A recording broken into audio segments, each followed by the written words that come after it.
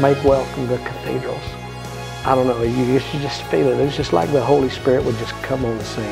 And old George, sometimes he just gets so wrapped up in it, you know, you can't help it. When God moves in and God moves on the scene, special things happen.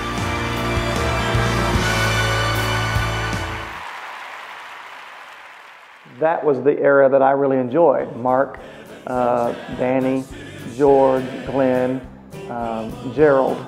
And so now to be actually in this, I never got to record with those guys. So now to be in the studio and to be on tape with some of my heroes, truly, uh, what a great, the best of both worlds, man. What a great experience. Kind of getting together with the old school, if you will, of the cathedrals, uh, the guys I grew up listening to, and then getting to come back with Ernie, the guy I got to sing with for, for 10 years. Man, just a remarkable experience. I'm glad this day has come to pass.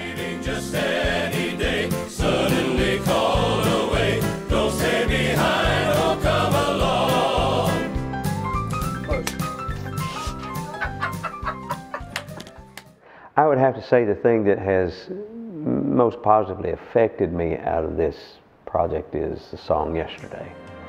Uh, George wrote the song many, many, many years ago, many years ago. And we re-recorded it when Danny and I were a part of the Cathedrals back in uh, the 80s. And then uh, I caught myself uh, listening to it this afternoon and as it was going down, as the other guys were doing their parts, I was finished. I'm sitting there thinking the reality of the message in the song. Yesterday, things were different, and they were. In the yesterdays of our lives, uh, I was a young, aspiring gospel singer, and now you can tell my hair's not uh, young anymore.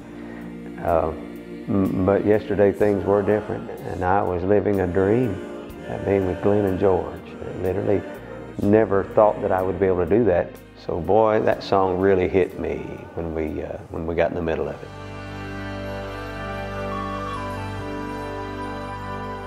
Glen and George thought it was too contemporary for the group. And so Lari Goss, our producer, said, well, let's, he said, he knew it was a hit. You know, we didn't, but he did. And he said, well, let's, let's let the piano player sing it because he's the youngest and we can make that work. So he played it for me. I didn't like it. Um, I thought it was too edgy for me, so uh, he gave me a cassette tape and said, go sit in my car and listen to it till you learn to like it. Well, he, was, he had a Jaguar at the time, so of course I'd never, I'd never seen a Jaguar, let alone been in one, so he pitched me his keys. And uh, it took me about three hours of driving around Nashville to learn to like the song and that Jag. But so I, I, went ahead and recorded. That's a true story. So I, I recorded it, and uh, then I sang it every night for, golly, I don't know how many years. Here we go. Search me. Thanks.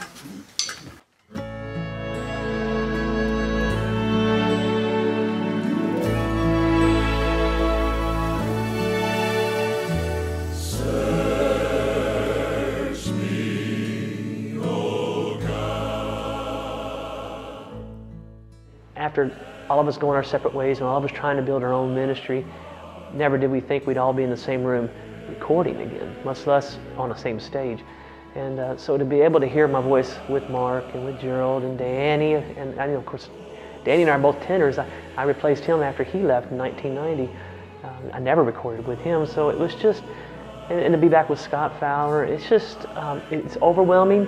I don't want to use the overused word surreal, but it, it is. You have to almost come pinch yourself and say, be in the moment and uh, soak it all in because you never know when you get a chance to do something like this again, if ever.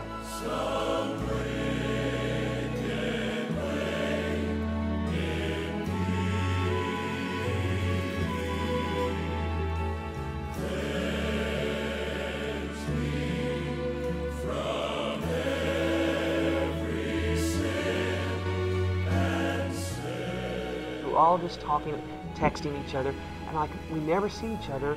And it, it, I'm not trying to be funny. The only time we see each other is at a benefit concert or at a funeral. We owe it to ourselves to get back together one time. Let's put all of our agendas where we are booked and all like that. Let's yeah. put it out of the way and let's get together and find one market. Right. And so we did that. Well, that turned into a recording. We, we did have a recording. So the Cathedral awesome. Family Reunion is, is something that uh, it's a look back at the past, but it's also part of our future.